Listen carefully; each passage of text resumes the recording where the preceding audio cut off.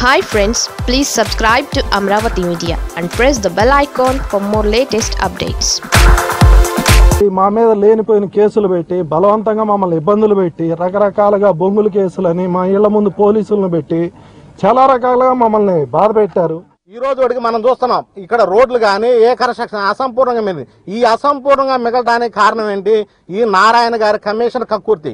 ఏ contractor అయినా అడగండి. ఈ నారాయణ గారు ప్రతి కాంట్రాక్టర్ని కమిషన్ అడిగాడా లేదా? కమిషన్ వసూలు చేశాడా లేదా? మీరు ఆ కాంట్రాక్టర్ అడగండి. ఏ ఒక్క రోడ్డు కూడా రోడ్స్ ఒకళ్ళకి డ్రైనేజీ ఒకళ్ళకి అలాగే పైప్ లైన్ ఒకరికి ఇలా విభజించి ఇవ్వడం జరిగింది కానీ ఈ రోడ్ అనేది కంప్లీట్ ఏ కాంట్రాక్ట్ కూడా ఎందుకంటే ఒకరికే ఇస్తే కమిషన్ తక్కువ వచ్చిందని ఆ ఉద్దేశంతో ఈ వర్క్స్ అనేది విడివిడిగా పంచి ఇవ్వడం జరిగింది.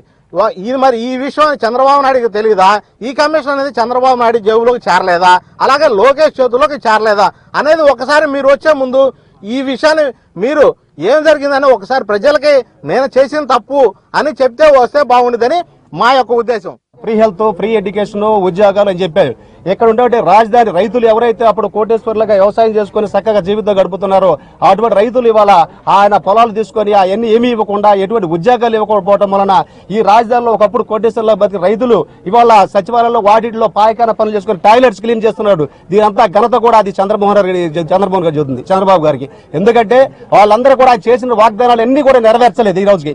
ఆయన ఎటువంటి ప్లాట్ చెప్తున్న ప్లాట్లలో కూడా ఎక్కడ కూడా ఏ ప్లాట్లు ఇవ్వలేదు. ఈ చెట్లు చేమలు అన్ని పెరిగిపోయి వెళ్ళి అధ్వానంగా అడిగా ఉంది. ఈ ఘనతంతా కూడా చంద్రబాబు గారిదే. మా ప్లాట్లు మాకు ఇవ్వబాక ఉద్యోగాలు ఇవ్వబాక ఏవి కూడా దళితులు వివక్ష చూపించి వాళ్ళ ప్యాకేజ్ విషయంలో కూడా మెట్ట రైతులకి దళితులకి అన్యాయం చేసిన ఘనత కూడా మన మాజీ ముఖ్యమంత్రి చంద్రబాబు గారికి చెల్లుతుంది.